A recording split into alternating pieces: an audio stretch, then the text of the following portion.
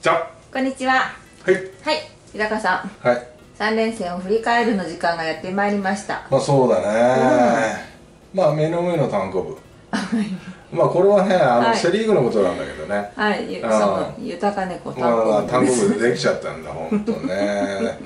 目の上の単行部をなんとかしないとうん。上に行けないということで、今回1位に3位4位5位6位の対戦だったんですまあセ・よね。リーグはね、うん、はい。でそれにしても熱々風がいかんみたいな。はい。暑かったなあこの3連戦は。まあ外の球場も多かったですし、あ暑さだけじゃなくなぜかすごい強風でしたよね、まあところにより。うん。まあ、ところによりっていうか大体外の球場の,、うん。あの風にね、うん。悩まされたというか、まあ、風の影響も受けたんだろうけど、うん。まあ比較的ホームランが出たなっていうような感じがしたね、うーん。はいということではいということでセ・リーグから。はい。ということで、えー、と赤枠が勝ち越したチームで、えー、と勝った数を書いています、はい。ヤクルト2勝1敗。広島が3連勝。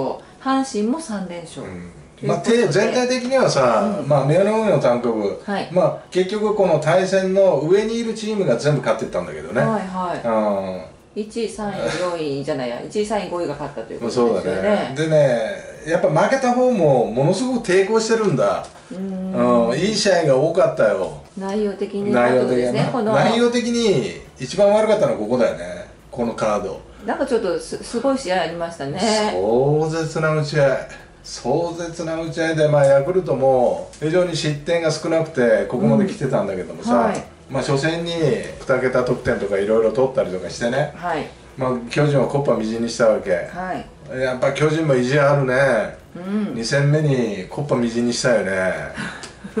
で3戦目はがっぷり四つの、でもね5点差をひっくり返されたのかな。うん。一気に6点取られてね。はい。それでまたこう並んでいったりだとか、うん。抜きつ抜かれつしてたんだけどもさ、まあ、最後にはやっぱりこう村上にやられるといううね、ん。うん、だから最後の試合はやっぱ中継ぎの差が出ちゃったのかなっていうような気もするけど、うんまあ巨人の意地も見た、はい、ね、ヤクルトの底力も見た。うん。でも巨人は球団創設以来、うん。史上最速での自力優勝がなくなったというカードでもあったんだよね。なるほど。あーちょっとショッキングだよね。そうですね。うんまあ結構ヤクルトの強さ、うん。まあ、巨人のちょっともたつき、まあ、そういうのをこう今回も感じてしまうような結果になっちゃったかな、うんなんかこういつの間にか止められない存在のヤクルトになっていますが。まあそうだな。だからはい。もう12カード連続の勝ち越しになったんだよね。ね。まあ、それを止めるべくもう巨人も抵抗していったんだけど、うん。でも巨人はショックなのはさ菅野と戸郷を使って、うん。この1勝2敗になっちゃったという。う、ん。本当はここ3連勝狙ってきてるローテーションなんだよね、うん。でシューメーカーしか勝てなかったというさ、うん。そういうことだったけど、まあ、ヤクルトの方はさ、うん。まあ、外国人を使い、うん。まあそんなに力んではなかったんだよね、はい。でも勝ち越したということからすると、うん。やっぱりヤクルトの底力っていうのは半端なくあるなという感じがするよね。ね。はい。はい。D n a 広島。はい。ね3連勝、はい。これ対戦成績が、まあ、d n a の1勝11敗になっちゃったんだよね。う、ん。で広島にとってはすごいお客さんなんだよ。前カードの広島対阪神で阪神がねどうしても広島に勝てないいってていう。のの第2弾みたいになってま第すか。2弾というよりも貯金からすると、はい。D n a の方がはい。広島に貢献してるからね、うん。9つ対10だから。そうですね。でもそれを貯金をもってして、まあ、3位にいるという。うん。ね。大事なお客さんだよこれ。いや本当に。それがまた2カード続いたっていうのがまたこれは広島にとってはすごく有利だったってそうだな。ね連続してあったということがさ。でこれなぜ良かったかというと、はい。交流戦でうん。非常に悪かったじゃない、うん。そうですね。5勝10何敗だったんだよね、うん。でそれをそのここで一気に取り戻したというような、うん。まあ、戦い方ができたんで、はい。まあ、阪神と d n a でね。非常にこのいい3連戦だったよね、うん。でも取りこぼさなかったっていうのはやっぱ初戦の大瀬良はい。あの完封から始まったけどさ、うん。なんていうのかな。やっぱ大瀬良がこう勝っていくと、うん。まあ、森下、うん。まあ、栗ってつながっていくよね、うん。ううん、まあ栗には勝ちがつかなかったんだけども。そうでしたね、うん、まあだけど広島の粘りとかあー上本の粘りだとか、うん。ああいいね。上本はねしっかりして、まあ1回外された時期もあったけど、はい。また先発に戻ってきたといううん10年目の選手なんだけどね、うん d n a の方は今永を頭に持ってきて、うん。まあ、エース同士の大瀬良との投げ合いになったんだけど、うんどうだったのかなと思うよねやっぱ体力面精神面。はい。以上は回復してたのかなっていうようなね、うん。まあちょっとねお父さんの家庭の不幸があったりだとか、そうですね。まあいろいろしたがんでね、うん。まあ、ちょっと心配したんだけど、はい。まああの結果はねちょっと責められない、うん。ただ次はねうん。もう攻められるよってしっかり調整してねっていうような感じだよね、うん。うん。はいで浜ちゃんもうん。良かったんだけどさ、はい。一気に崩れるんだよね。前触れがあまりない感じですね一気にさツーアウトから5点取られて、その5点を、えー広島に守られて、負けちゃったという。だから接戦はしてるんだよ。対戦成績が1勝11敗なんだけど、はい。だけどそんな感じではないんだよね。うんちょっと転べば d n a も勝てるような状況にあるんだけどさ、うんそこを許してくれないんだよこねの3連勝した広島のこのカードでも、うん。そういう内容の試合ありましたよね。いっぱいあったんだ、ね。だからもったいないんだよ。もう一本が出なかったりだとかさ、まあ昨日のね9回にうん。太田が出てきた、はい。あの打球でもさもう紙一重なんだよ紙一重でねしたね。うん。うん。だから紙一重なんだけどどうしても広島に行ってしまうというね、まあ、あれも打った瞬間あれ？やったと思ったら、うん。あの取られてしまったんですがあれうんもし抜けていたらって思うと、まあそうだね。ねまたあれあれで勝ちだからさ。そうですよね、うんそうそう、うん。だからそういう意味では非常にもったいないというかまあ球際だな、うん。広島の方が若干球際が強いという感じがした。なるほど。ら京山でもピッチャーゴロをさ取れたのを空振りして、センター前行ってつながれてうん。打たれたというね、うんうん、だからああいうところを考えるとさやっぱ球際の強さうん。広島の方が若干やっぱ強いな今のところ、うん。まあそれが順位に表れてると思うんだけど、はい。まあ、ちょっと d n a はねもう一度頑張らなきゃいかんな。うん。はい。はい。はい。阪神中日。はい。初戦大野と青柳が投げた。うん。これは1対02対0かなと思った試合が大荒れに荒れてみたいな。まあそんな感じになったんだけど、はい。やっぱ中日もうん。木下だけを4番に使ってオール左行ったんだよね、うんうんだからまあそこら辺の作戦の立て方だとか、そういうのはやっぱ立浪監督らしく居直ってやるというさ、うん。うんまあそういうことで戦ったんだけど結果的には3-0、はい。ね、柳も玉砕されたまあよく粘ったけどね、はい。粘ったけどだけど阪神の方はやっぱり初戦の大山、うん。3戦目の大山、うん。大山様が打つと勝てましたみたいな。やっぱ大山のとこ回ってくるしさ、はい。大山がやっぱりムード作るね、うん。うん。だから非常にあの全部打てっていうことはさ大山にとっても負担になるから、はい。まあこれからはあんまり言わないでおこうとは思うけど、はい。やっぱ大山が打つとやっぱ勝つね、うんだからまあそういう面ではその大山の活躍っていうのははい。非常に頼もしく思ったね、うん。うん。それと中日の木下が、はい。ね腰痛のため欠場した3戦目、はい。これちょっとね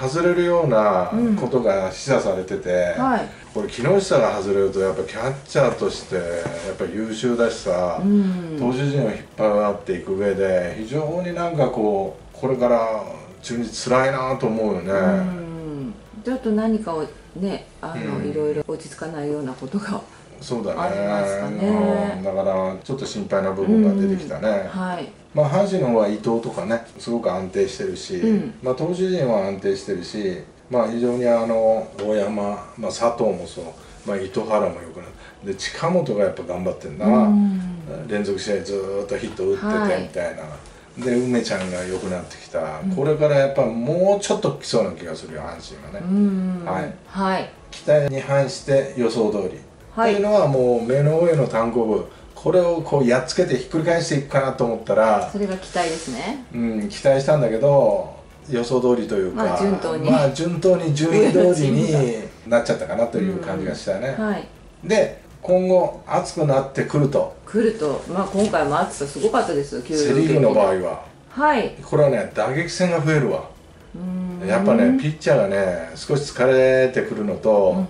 ドーム球場が2つしかないんだよね巨人と中日、ね。あとは全部外なんだよ、はい。外のこの猛暑っていうのはさ昨年8月っていうのはオリンピックの期間中でやってないんだよね、うんだからその分若い選手たちっていうのは経験がないんだよ8月の戦い方っていうのがね。はだからそういう意味ではやっぱ初めて迎える夏い、うん。これにどう対処していくか。やっぱ若い選手たちも多いしはい。で d n a の牧なんかそうだしね。はい、まあ阪神の佐藤もそうだね。昨年の夏を経験してないから。はい。だからそういう意味ではこっからそういう人たち選手たち若い選手たちがどう対処をしていくか、うん。まあ、ピッチャーも含めてね、はいまあ、ここら辺の壮絶な打ち合い、まあ、巨人の打線はちょっと良くなってきたね、うん。ポランコもずっと不調だったけどホームランがポンポンと出たりとかさ、はい。うん。非常に上がってくる気配があるし、うん。で若手の増田陸、ん。一番に使って大活躍。はい。ね。まあ非常に勢いも出てきた、うん。で広島もなんかつながり出してきてるし、はい。粘りも出てきてる。ただちょっと中継ぎが心配だけどね、うん。えー森浦とかね栗林、うんまあこういった人間がちょっと心配だけどね、うん。で阪神はアルカンタラとか、まあ、心配なんだけどもはい。まあ他にもいっぱいいるからね、うん。湯浅とかね、はい。うん。まあ、中日がちょっと怪我人が一番頼りにしてた木下がちょっと離脱ちょっと心配だなと思うね。はい。はい。まあセ・リーグでした。はい。はい。続きまして。パ・リーグいきますかはい。はいパ・リーグです。た結果です。ソフトバンク2勝1敗、はい。西武3連勝。オリックス2勝1敗ということでした。ね。はい、まあソフトバンクうん。千賀大関、うん。うん。まあ、投げたんだよね。はい。まあいいんだよすごく。うんだけどこの1敗っていうのはさ、はい。やっぱミスで負けたね、うん。日本ハムね久しぶりに勝ちが。うん。まあそうだね。加山のちょっとミスが出て、はい。まあ、それが決勝点になったりとかいろいろしたんだけどもさ、うんうん。で日本ハムも上沢とはい。伊藤大海が投げてやっぱ負けてんだよね、はい。だからあそこら辺鉄板で勝ってるようにならないとやっぱチームにならないし、うんただ投げ合ったのが千賀と今年ブレイクしている大関。はい。やっぱソフトバンクの方はうん。やっぱ効果的な一発も出るし、今宮がいいね。うんうん。今宮が頑張ってるわ、あーあの小さな体で。はい。で守備も今年いいし、ね。あーバッティングもいいしね、うん。首位打者争いしてるし、うん。うん。ただ日本ハムの方はなんて言うんだろうな。なんて言ったらいいんだろうな。ミスも多いしさ、うんまあでもそろそろこう選手たちもねある程度決まってきてるし、うん。まああの飽きないようにね、飽きないようにっていうのはいろんなこうシチュエーションがあって、はい。い、やもうもう分かってます分かってますっていうような飽きが来るんだよやっぱり、うん。同じことの連続1年間。はい。そうじゃなくてやっぱこう粘り強くうん。やってほしいなっていうような気がするね、うん。はいはい。はい。まあそういう3連戦はい。で楽天西武。はい。ね。まあ楽天投打とも元気なしとうん。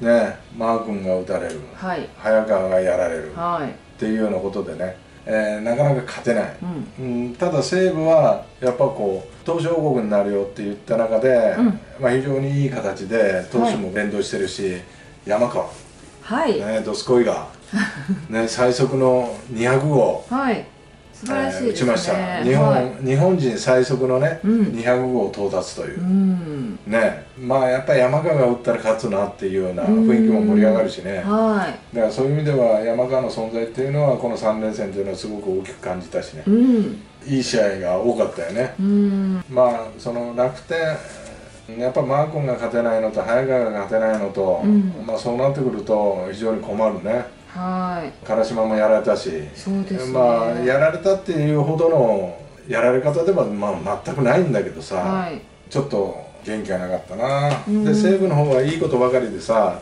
まあ、あの山川がその200号もあったし、はい。昨日一昨日か、うん。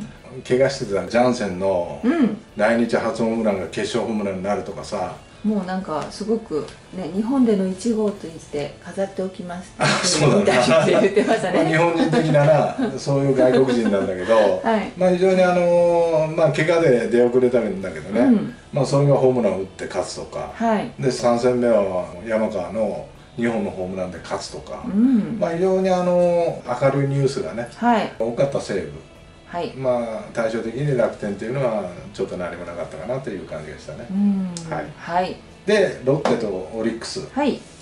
山岡と山本。うん。連続完封。うん。ね。これはやっぱすごいわ、うん。で山岡が言ってたけど、はい。なんか魔球投げてるみたいだっていうぐらい、うん。やっぱ風の影響を受けて、ゾゾマリンの風って、バックネットに当たって戻ってくるんだよねピッチャーの方向うに、ん。だから向かい風になるんだよピッチャーからすると、そしたら変化球ってものすごい曲がりをするわけよ。はい。だからそれを利用してまあいいピッチングにつなげたとか、山本もそうだよね、うん。山本もだから2試合連続のそのロッテに対して完封勝利を収めたんだけどもね、はい。やっぱり見ていて打てないわ。あれじゃそのぐらいやっぱ曲がってるし、はい。やっぱりいいしね。う、ん。で力もあるしっていう。スピンがかかったボールは多分吹き上がっていくんじゃないかっていうぐらいのおボール投げてたしね。これはもう2巡目だから対応がとかそういうだからもうレベルじゃないもうねねやっぱね見たことのないような変化をしてると思うよ、うん。まあただロッテはやっぱ3連敗をよくしなかったね、うんあー高見がよく打ったわ。はい。ねで松川子。はい。も打ったしね、うん。だからまあその若手で一勝も受け取ったっていうのは、まあ次へつなげてほしいなというふうに思うけど、はい。でもオリックスは良くなってきたな、うん。で吉田正尚が帰ってきてホームランも出るようになったし、うんまあ、杉本もね、まあ、負担も軽くなっただろうし、はい。で胸がちょっと上がってきてるし福田も良くなってきてるし、だから昨年のいい時のような状態がやや見えてきたはい。オリックスだったねこの3連戦がね。なるほど。はい、だからこれからなんかこう西武とオリックスが来そうな感じがするけども、うん。ちょっと心配なチームがというはい。というのがまず楽天。はい。なんかねやってる雰囲気がねちょうど重い、チームの雰囲気。はい。ちょっとわーっていうのがないね、うん。だって西武の方が下のチームなんだけどもさ、は順位的には、うん。楽天もっとわしょわしょやってもいいと思うんだけど、はい。ちょっと元気がないんだようね、ん。で日本ハムもう1チームはもうはいずーっと心配なんだけどさ、最下位だけどわしょわしょやってるみたいな。いやいやいや。まあまあそれでまあ雰囲気は分かるけど、うん。もうちょっと上行こうよみたいな、まあまあそんな感じだね。雰囲気はそんな悪くはないんですか？全然悪くはない。だからそこが逆にこの負けてるチームでそれっていうのがやっぱ良くなかったりするんですちょっかねとまあいやまあでもさ新庄監督ビッグボスも言ってるように、ん。今年は優勝しないと、うん。ね。あのやっぱり適性を見ながらチームを作っていくという、うん。まあ、そういう状況の中でやっぱどういう性格を持ってどういうふうに野球に向き合ってるかっていうのを見るためには、うん。そういうことも必要だと思うんだよね。なるほど。だから別にいいと思うはい、うん。まあなんか日本ハムの色という感じに今なってますもんね。まあまあそうだね、はい。ただねやっぱ勝たないとお客さんが心配だよね、うん。来季やっぱ新球場で戦うわけでしょ、うん。もうそこでさやっぱいきなりダントツの再開はないからね、うん。やっぱある程度抵抗していかないとさそのための準備は着々としてると思うんだけども、うんちょっと心配やな。まああのファンの方だと思われるコメントもあって、まあそうだね。そうなんか日本ハム蚊帳の外と言われているのは、まあ仕方ないけどでもやっぱり頑張ってほしいというね。いやそりゃそうだよね。そりゃそうですよね。うん。でね楽天がなぜ心配なっていうのは、うん。やっぱねこれ暑くなってくるとね余計に心配なんだよね、うん。楽天ってねやっぱ多少暑さに弱い部分があって、うん昨年もやっぱ後半うん。にちょっと失速するっていうようなケースがあったんで、はい。だからちょっと心配してる。なるほど。はい。まあパ・リーグはセ・リーグに比べるとドームの球場が。うん、だからセ・リーグと真逆でさ、はい。今後暑くなってくるけど来るけど、打撃戦にはならないよと。はい。それは今。逆いや、いはい今言ったように、はい。ドームが4つある。うん。でそういう意味ではねチーム打率っていうことを考えると、うんそんな打撃戦にはならない。うん。ということはピッチャーの整備をやっぱり全チームした方がいいなと俺は思うんだよね。なるほど。だから西武なんかすごく良くなってきてるよね、はい。ピッチャーが点をやらない、うん。だって9試合やる。3戦目のパ・リーグの中で5試合が完封勝ちだよ。今完封って少ないいや少ないけど、うん。やっぱ完封勝ち。まあ一人でやる完封もあれば、うん。つないでかやる完封もあるけど、はい。5試合あるっていうのは相当多いよね、しかもパ・リーグでっていうとやっぱりこう今シーズンは打撃が全体的に低迷しているというところがやっぱそういうことになるね、だからねホームランで勝つチームが多いよね、ホームランが決勝点になるケースが、だから西武とオリックスっていうのが非常にこれから良くなってきそうな予感。予感がする。はい、はい、ということで。はい。また今の順位を見ていきますが、ね、ちょっと入れ替わりが結構ありましたかねパ・リーグ特に。めちゃくちゃあったね。はい、はい、こうなってます。まずセ・リーグから、はい、変わったのは4位5位。まあそうだね。ここのここの順位が変わったけどやっぱゲーム差がじりじりちょっと開いてってた。1位2位の間でしょうか。それとやっぱり広島がここのとこバッと来たから巨人に対して1ゲームになってる、はい、阪神ねこれ3ゲームになってる、はい、ちょっと d n がね開いちゃったかなと思うけども、うん、だけどとはいえですよね。とはいえ2位から6位は、うん、そうだね待ってる間にいますね。でね、広島阪神 d n a って取りこぼしがなかったんで、うんはい、やっぱお得意さんはお得意さんとしてカモにしちゃったんだよね、はい、で今度はヤクルトだから。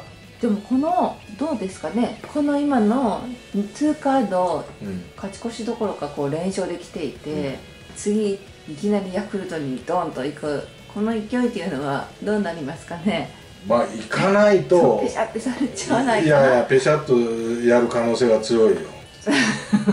強いけど、はい、やっぱりそこは頑張らないとさ、はい、いけないまた折り返しもあるんだよね多分ね。神宮で。今度松田でやるんだけどさ、はい、やっぱ地元の利を生かしてほしいというふうには思うけどね。はいはい。はい。ね。はい。ね広島阪神来たよみたいなここのチームは熱いよ今。はい。ねだから頑張ってほしいなと思うね。はい。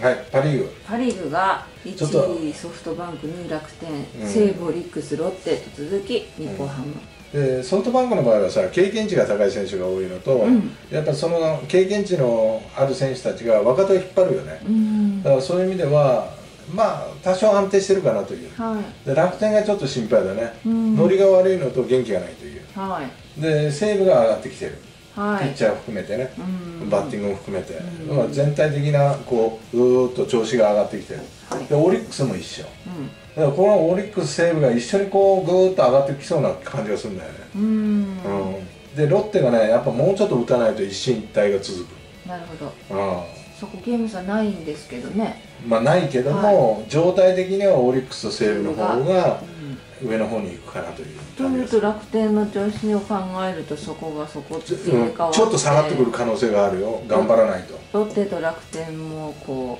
うどういう状況かによってまた順位がってことですか、うん、で1位から5位まで6ゲームそうです、ね、だからまあここら辺まだまだね、うん、先長いから、まあ、そうですね、うん、まあバタバタする必要はないけども、やっぱりここら辺頑張っとかないと楽天は夏場に弱いっていうね、ちょっと暑さに弱いというのか。まあ、そういうところがあるんで、うん、まあできるだけ貯金を作っといた方がいいよっていうのがなるほど。じゃあ今はちょっとチームの状態が大変ですけど、うん、まあ今踏ん張りどころということですか、まあね、はい。まあ、いつも踏ん張らなきゃいけないのにいっぱい踏んでるはい。ということでした。はい、はい、これがまた今回はこういった結果になりましたが、はいはい。次はまた暑さもありますかね？これからどんどん暑くなってくるしな、ねはい、まあ、天候が崩れたりだとか、いろんな状況になると思うけども、はい、まあだけどヤクルトと巨人の試合はもうね見ていて面白かったな。いやもう見るたんびに点が増えてってどうなっているんだろうっていう試合ですね。だからさすがプロ野球だなと思うよね、うん、ちょっとピッチャーのボールが悪ければ、簡単に打つというね、うん、まあさすがにプロ野球でした。はい、はい